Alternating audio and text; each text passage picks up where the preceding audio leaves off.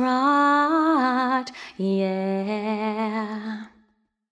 One happy birthday dot com.